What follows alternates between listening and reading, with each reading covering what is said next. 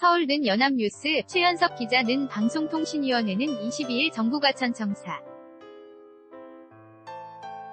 에서 2018년 방송통신 국민정책 참여단 출범식을 개최했다고 밝혔다. 방송통신 국민정책 참여단은 국민이 공감하는 정책을 국민과 함께 만들어가기 의회 국민과 정책 수요자, 관련 전문가 등으로 구성된 정책 참여 조직이다. 방통위는 약 4개월간 국민정책 참여단과 스타트업 개인정보보호 인큐베이팅 프로그램 운영, 발달장애인 미디어 접근성 확대 지원,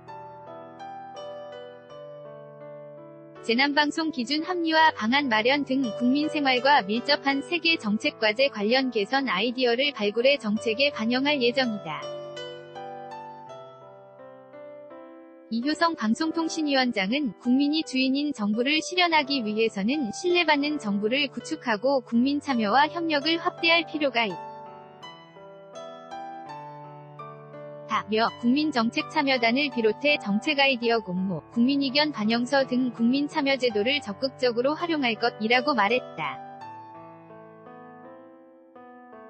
방송통신위원회 제공 HARRISON 골뱅이 YNA.co.kr 2018년 6월 22일 16시 41분 송고